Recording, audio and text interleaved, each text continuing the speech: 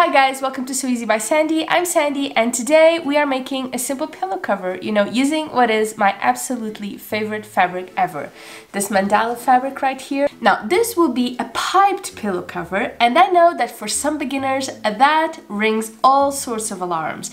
It's scary, it's intimidating, well, I'm here to tell you it really doesn't have to be. And let's face it, you know, it just makes such a huge difference in the end result. You know, a piped pillow cover is just a step above the rest. It's that simple and so worth the trouble. Let me show you how I do it and it is by far, in my opinion, the easiest and simplest way to do it. You know, no filling, no special sewing feet, you know, nothing too complicated that may ruin this experience for you. Let me show you. Now this is my fabric as I've shown you. It is a mandala fabric. It is very gorgeous. And I've used it before for my meditation cushion or my zafu or my cat pillow, whatever you'd like to call it. And if you haven't watched that video, I will link it to at the end of this video, okay? Here it is, our 20 by 20 inch pillow cover top very colorful, very busy. I have also already cut the back. You know, for an envelope pillow cover, we'll need two pieces for the back. One 20 by 15 or so inches and another 20 by 10 or so because we want them to overlap comfortably. You know, there's nothing worse than a pillow cover opened in the back. This is for a 20 by 20 insert, but as you can see, I am making this 20 by 20, you know, no seam allowance. And the reason why I'm doing this is because I like my pillows to look stuffed. you know, to me, there is nothing worse than a half-empty pillow. You know what I mean? When you have a pillow and there's all this excess fabric because the insert just doesn't fill it out. I like a pillow to be nice and stuffed and full. That's gorgeous to me. Okay, I've also cut our piping fabric, which is this light green polka dot fabric, about 85 or maybe 90 inches to it. It's about one and a half inch wide. And of course, we'll also need some piping cord and you can use cord as thick or as thin as you like. You know, mine is about 3 millimeters or 0.11 inches or so. You'll place the cord inside the piping fabric like so, leaving a small fabric margin before the cord begins. And then you just place the fabric with the cord inside, of course, on one side of the cover fabric. And then you begin to sew it onto the cover. Don't start at a corner, okay? Start at the middle of one of the sides to make things easier for you. You know, I know some people sew the cord onto the piping fabric before adding it to the pillow cover, and you can do that too, of course. But I find that it's just an extra step I don't really need. Okay, now the corners, I admit, are a little tricky. You know, you need to do them very carefully because if not, you won't have that nice sharp turn. Well, it's more of a curve really. It's never really sharp because the cord just doesn't bend, right?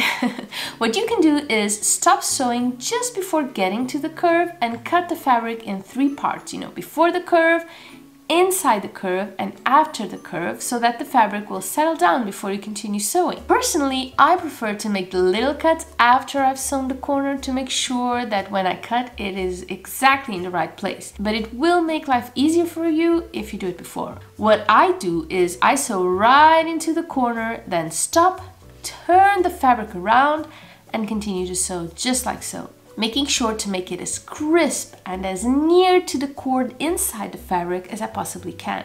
And you can use a tool to help you keep the curvy fabric down, you know, if you're not going to make the three cuts I mentioned. And I use my trusted seam reaper. And of course, you can also pin the piping fabric to the pillow cover before sewing if you feel more comfortable with that. You know, no problem whatsoever. Whatever works for you is fine, but I'm lazy and like to save time. then we just keep going, you know, until we go back to the start. Then we stop sewing about one or two inches before reaching the other end of the piping. Now, we extend the cord up to the point where it starts really and just cut the excess. Now just the cord, not the fabric, okay? Because for the fabric we need a little bit of a seam allowance to sew the two ends together. So you'll need to make it a bit longer in order to overlap with the other end of your fabric, like so, okay? Okay, now we join the two ends together and we sew them. After that, we straighten our piping and we finish sewing it onto the pillow cover, joining the two ends of the cord inside of it.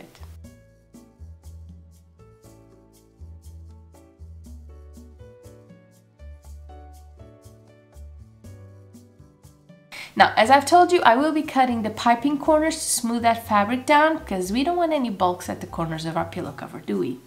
Be careful not to cut into the pocket of the fabric where the cord is, you know, we're just cutting the seam allowance.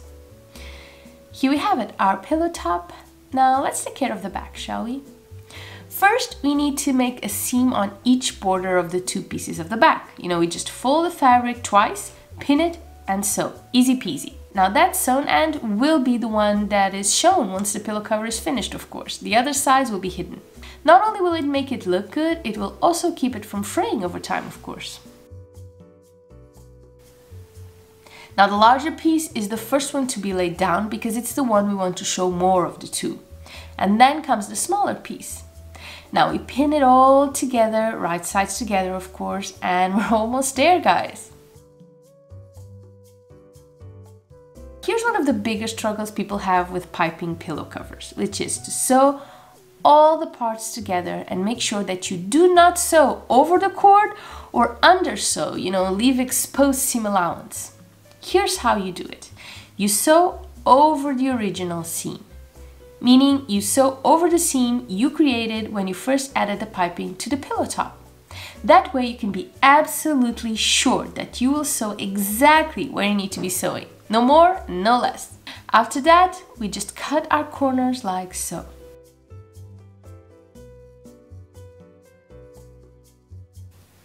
Next, turning our pillow cover inside out to see our beautiful piped pillow cover.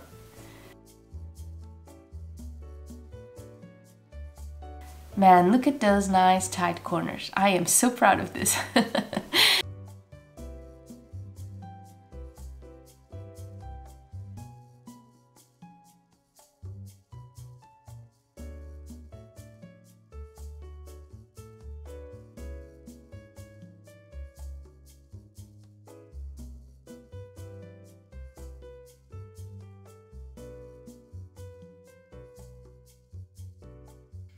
And there you have it guys, our lovely piped pillow cover, looking lovely and colorful.